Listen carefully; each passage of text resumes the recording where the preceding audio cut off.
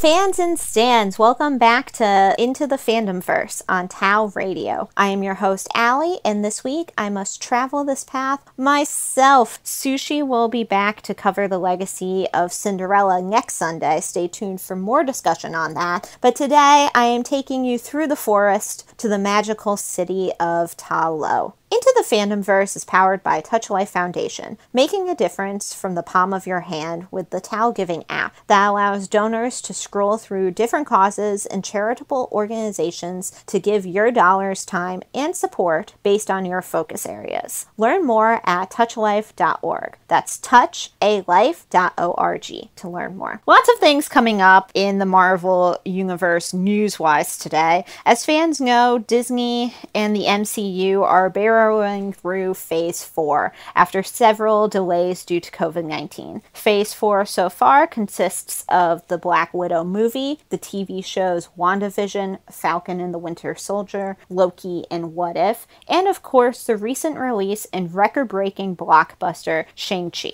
which we will get into in a minute. Phase 4 is focusing on a few major themes. One, life after the blip and how Earth and heroes are dealing in the aftermath of Endgame. Two, the multiverse. What does this mean? Variants, alternate realities, changing the course of history potentially. Listeners know how much I love this time travel line. It's really doing it for me. And three, powers that are beyond what we have seen to date. With this said, since the last time we talked about the MCU on this show, the Spider Man No Way Home trailer has dropped and gave us a glimpse of what we believe to be a tear in reality. We got the iconic Alfred Molina reprising his role as Doc Ock and the unmistakable cackle of William Dafoe's Green Goblin. Rumors are circulating about a Tobey Maguire and Andrew Garfield appearance as as well as the possibility of bringing in Miles Morales character into the MCU.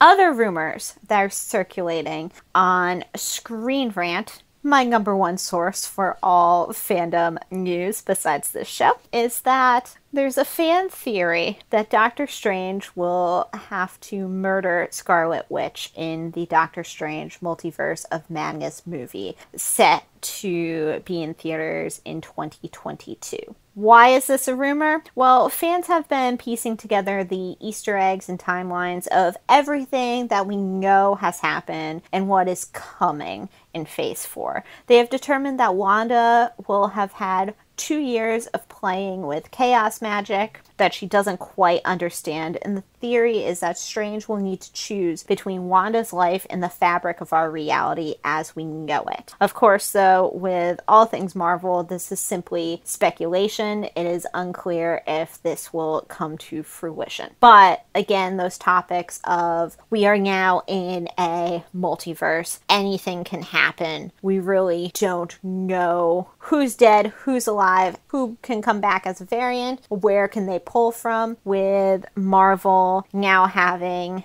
access to all of the Fox content. We are still waiting for the mutants to come into play. We want to see an X Men crossover, possibly Fantastic Four coming back into the MCU fold. There's just a world of possibilities out there, and we will continue to read the threads on Reddit and scour Twitter and Screen Rant and all the other sources of website news to bring you those fan rumors. In other news, the trailer for the Disney Plus show Hawkeye has been released, and I didn't know I could be this excited for anything Hawkeye. The show follows Clint having to deal with the repercussions of his time as Ronin between Infinity War and Endgame. Assassins are after him. He might have a new sidekick, and all of this as he's trying to get home to his family for Christmas. Check it out if you haven't yet. This will no doubt tie into the after credits stinger of Black Widow. No spoilers there. You can watch the movie on Disney Plus if you don't know what I'm talking about. Spoiler warning I'm getting into the legend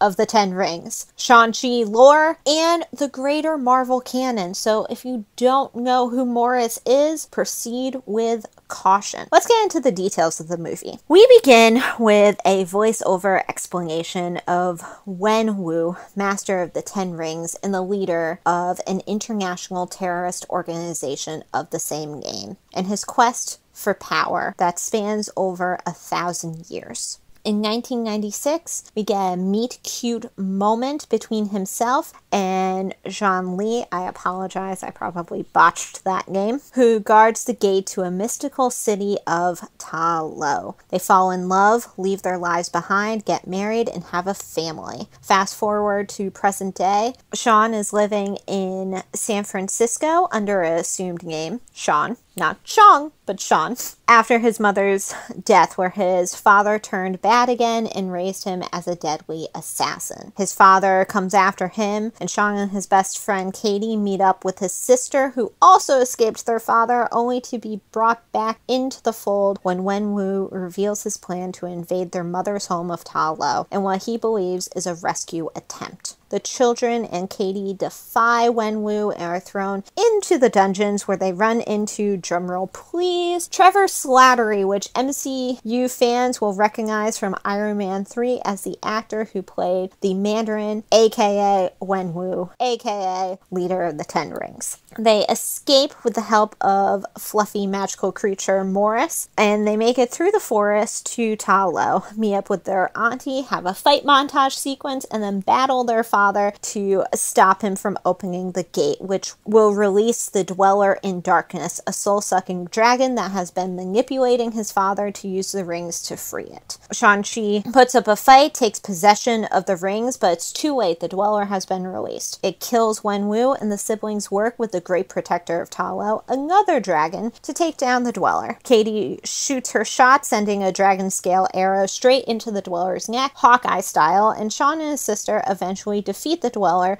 with the Great Protector. Sean takes on the Ten Rings and returns with Katie to San Fran, while his sister returns to dismantle the Ten Rings game after credits, however, show that she is not dismantling but building her empire. Sean and Katie get pulled in by Wong in the after credits scene where it is revealed by Bruce Banner and Captain Marvel that there is a beacon coming from the rings that was activated when Shang took them. Sean, Katie, and Wong have a night of karaoke, taking us into the final credits with a rendition of the Eagles' Hotel California, and it is told that the Ten Rings will return a lot of thoughts and feelings about this movie. I've seen it twice now, and even the first time, I absolutely loved it. The second time, there were a couple things that kind of stuck out to me, but I still say it's one of the best origin stories in the MCU, and I am so excited to see these characters return in other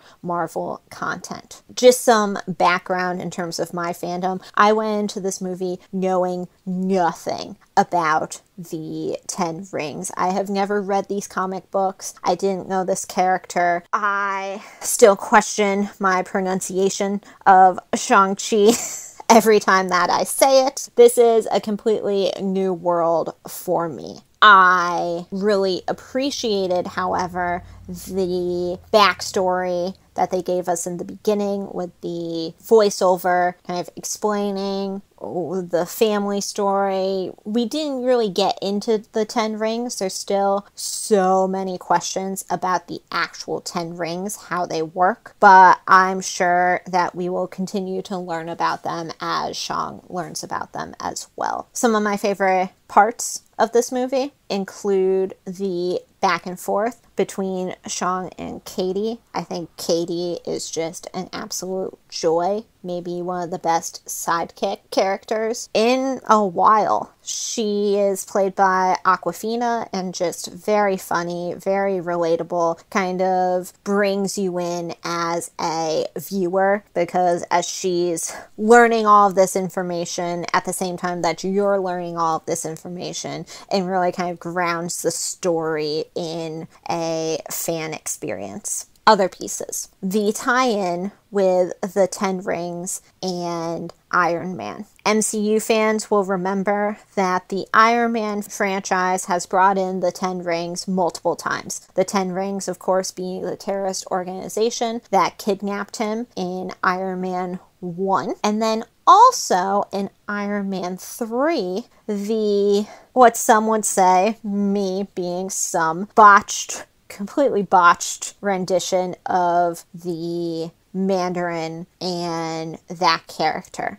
I loved the fact that they brought that character back, Trevor, the actor, who again, very funny comic relief throughout this film, but also it was a great way to tie in the kind of old MCU, Iron Man being the beginning to this new phase of the MCU. It also was a way for Marvel to kind of repent for those past mistakes. They have acknowledged the fact that the characters of the Mandarin and actually Shang-Chi, The Ten Rings, the original comic books, were not very appropriate for 2021 lens. They're racist, a lot of Chinese caricatures, just not a good look for the MCU. And I appreciate the fact that as they're kind of bringing in this new age of more diverse heroes,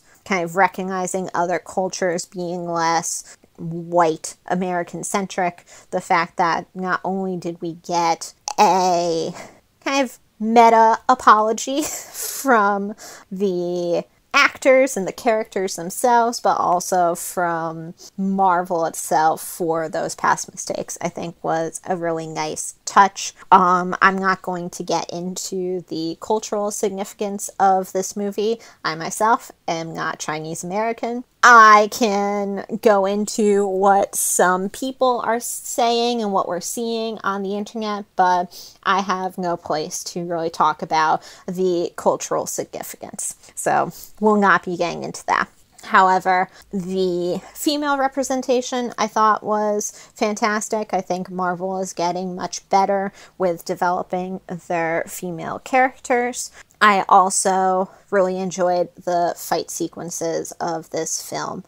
I was a huge Jackie Chan fan as a kid. I loved all of his movies, and some of the fight scenes for, were very reminiscent of some of those sequences, especially uh, there's a great bus fight scene between Sean and Razor Fist.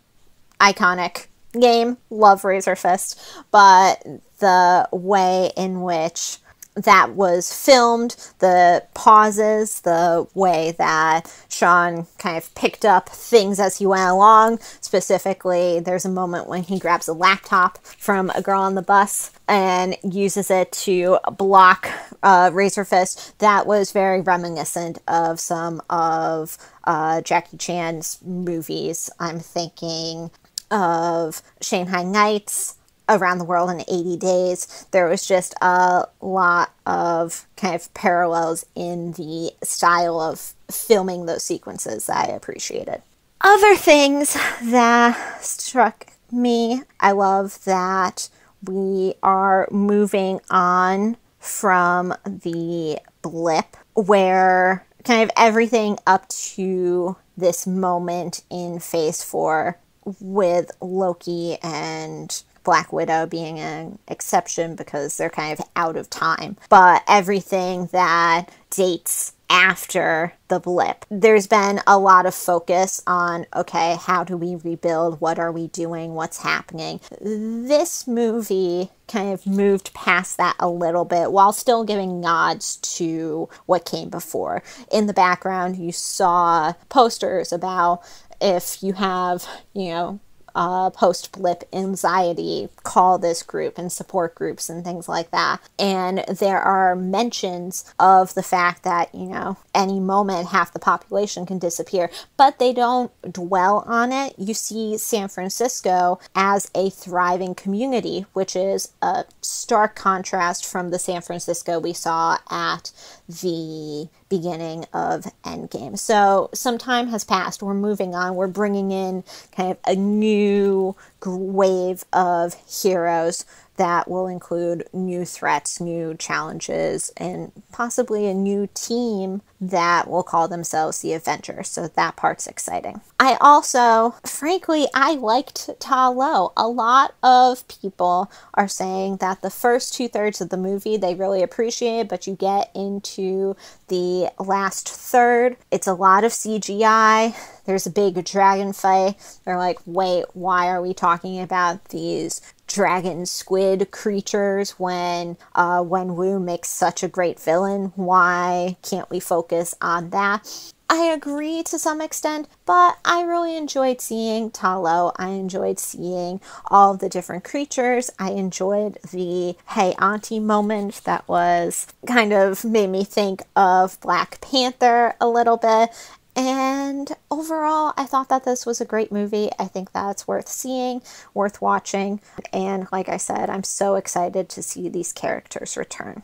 Another thing that this movie had was a ton of Easter eggs, and I'm so excited to get into those. Let's get into some of the Easter eggs from this film because they're kind of great. Number one, like I had mentioned in the previous segment, the blip references are subtle which I really appreciate. In the background, you see the various posters and banners talking about anxiety groups and different ways to reconnect. And then you get Shang-Chi's friend just with a small mention about the snap. And I just think that those little nods are perfect. It acknowledges where we were and where we are in terms of storyline, but it also helps kind of move us along and focus on this new character. Second, the 10 rings tie ins with Iron Man. Again, this goes to the let's make reference to where we came from, but also how far we've come. Because at the start of the MCU, Iron Man won the 10 rings. To be honest, I've seen that movie. I can't tell you how many times. It has to be 50 plus at this point. It took me a minute to remember 10 Rings was the terrorist organization from that film. When you are deep in Iron Man lore, obviously 10 Rings come up a lot. If you're a comic book fan, you will have gotten that reference right away. I apologize, it took me a minute. But I appreciated the fact that this movie acknowledged those connections, made apologies for some of those representations, and then moved on to connect us to this new character and this new age of the MCU. Uh, third, returning characters. I already mentioned Trevor Slattery. Um, having him back was great, but a more minor role. We got vlogger Klev back in the bus scene. He filmed the uh, epic fight scene between Shang and Razor Fist. Fans might have recognized him from the Spider Man franchise, where he encouraged Spider Man to do a flip so that he could put it on his vlog that was a lot of fun. Number four, there was a slight nod to uh, Star's uh, role on Kim's Convenience. Uh, Sean makes reference to somebody mistakenly suggesting that he's Korean, and uh, Simu has mentioned that as his time starring in Kim's Convenience, where he plays a Korean American, him being the only non Korean American actually on the cast, it was an adjustment, something that he had to work on. So I loved that little nod. Number five, Razor Fist is an Easter egg for all of the fans who have been dying to have any kind of mutant content come into the MCU. Razor Fist is a known Marvel character. He pops up in a lot of comic books, usually working for a bigger bad but he fights against Wolverine and Deadpool. So there are those ties. We're getting there. Uh, slowly but surely, we are getting there. Number six, all of the fights at the Golden Daggers Fight Club in Macau. So, uh, in the background, you will see small fights as they're walking through. You see a Black Widow fighting an extremist, again, going back to those Iron Man 3 ties. You see Abomination, which is a well known Hulk uh, character, versus Wong, who, of course, will be featured prominently in this next phase between the coming Spider Man movie. We know he's in that. We assume he's going to be in the new Doctor Strange movie, and it'll be interesting to see where else he pops up. Uh, also, when we're talking about the Golden Dagger scene, fans might have missed, I definitely did, but it was pointed out to me that there is a Madripoor flag in the background, which is very well known to comic book fans, but it made its MCU debut in Falcon and Winter Soldier. Madripoor is, of course, the home of Sharon Carter in that series. Number seven, and the final Easter egg I have for you guys, is Bruce Banner's arm injury in the after credits scene. We all know that Professor Hulk, or the amalgamation of Bruce and Hulk was the one to snap back everyone at the end of Endgame. And it's interesting to see his arm in a sling in his Bruce form here at the end of uh, this movie. It maybe is a nod to the fact that that will cause permanent damage. It shows the power of the Infinity Stones. Or it could be something else. It's interesting to note that he is Bruce Banner now. And of course, we are looking forward to She Hulk, which is in the works, and we assume he will be playing a role in that that storyline as Bruce. I will be back along with my co host next week to talk about Cinderella. We're so excited about the new Cinderella movie on Prime Video starring Camila Cabello. And we're going to discuss the previous Cinderella uh, movies and lore, this is a story that has been passed down for thousands of years with lots of renditions. So we're excited to get into that next week. So stay tuned for that. Um, in the meantime, you can follow us on all major social media platforms. We are at Tal Radio English on Facebook, Instagram, Twitter, and LinkedIn. Again, that's at TAL Radio English to get more information about our other shows. You'll see us talking about Into the Fandomverse. You can reach out to us, talk about your favorite fandoms, things you'd like us to cover. Use hashtag Fandomverse for more on all social media platforms.